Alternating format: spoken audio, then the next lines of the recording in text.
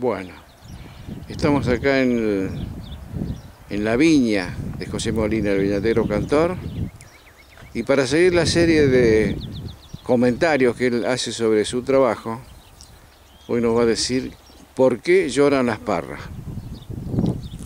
Ahí estamos enfocando una.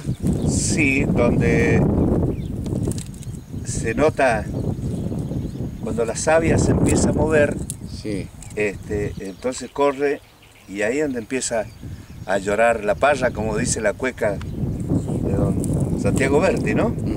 ¿Y por qué lloran las parras? Porque las podaron unas filosas tijeras como esta, por ejemplo, que en este corte, cuando la savia empieza a correr, empieza a salir. Y, y todavía recién han empezado a llorar. Eh, hay, este, dentro de unos días más, inclusive hasta, hasta cae, le cae tanta este, de la misma savia que cae al suelo, hasta se hacen pocitos en el, En el no suelo. sé, eh, sí, no sé si podés filmar acá, Pancho, que se nota en este lugar. Ah, sí, sí, sí. Mira, A ver pues, si podemos llegar con la cámara. mira, ahí está la humedad Sí, de la savia que sí, que sí, sí, cae. sí, sí.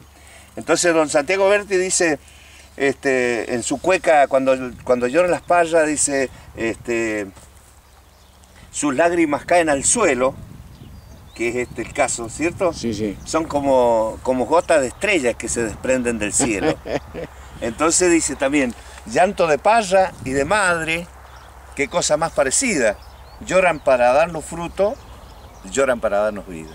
Entonces, este, muy, muy pegado a, a- la humanidad, esto que Dios nos dio como eh, la parra, que es muy noble y es muy...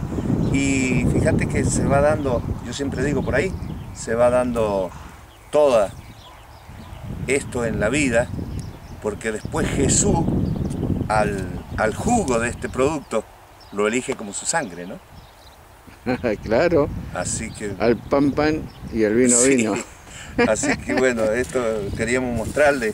Lástima que no tiene todavía eh, el, el- el llanto que, que generalmente tiene la parra. Claro, claro. Bueno, Todavía le falta. todavía le falta. le faltan unos días, sí, Sí. unos días más. Bueno, este ha sido otro de los comentarios del José Molina, experto en la materia. Aparte del canto, que bueno, ni hablar, ¿no? Gracias, Sí. José. Eh, mira, otra, ¿Quieres explicar otra- algo más? otra- sí, otra cosa te voy a explicar. Sí. Mira, eh, acá por ejemplo, eh, ahí en- en este... Mira Pancho, mira cómo está este, esta, Sí, mira cómo llora, sí, mira. sí. Bueno, eh, un, un amigo, un amigo eh, dentro de uno de, uno de mis discos pongo yo en, en- en uno de los versos que me deja, este, me hace expresión a, los hijos, a la familia.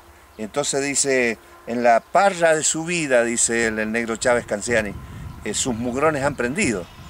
¿Y a qué se refiere él? Que el mugrón es el hijo de la vieja parra. Entonces, los mugrones han prendido bien porque han seguido este, este quehacer con, con la tradición, con la cultura y con, la, con, con todas las costumbres de nuestra zona. ¿no? Y acá tenés un mugrón, donde, donde falta una parra, Se le Que estaba faltando ahí. Ah, ese es el famoso mugrón. este es el mugrón. Se baja de la vieja parra Sí, un sarmiento y nace el Mirá hijo de la vieja parra. Una mirá vez cómo llora este, mirá. cuando echa raíz, ahí lo separan. Sí, ya cuando al segundo año, no el primer año. Por ejemplo, este está hecho este año. Sí, El, el- el año que viene pasa la poda, tratamos de no cortarlo. Ya al otro año sí, porque ya tiene este, suficiente raíz. suficiente raíz. Ajá. Así que este, este es el, el- el mugrón que es el, el- hijo de la vieja parra. Sí, sí, sí. Maravilloso, ¿eh?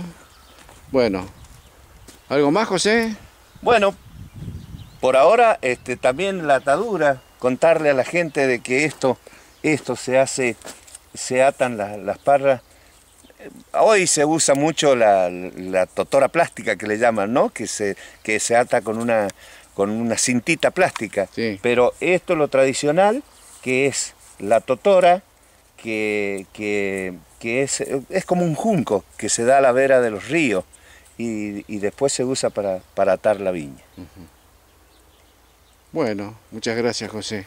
Esta, este video va a formar parte de la gran colección. Ya estuvimos en, verano firmando y viendo cuál era el tema del vino de tres hojas, las diferentes clases de uva. Así que esto va a complementar el trabajo que estamos haciendo. Gracias, José. ¿eh? Bueno, bueno, gracias a ustedes.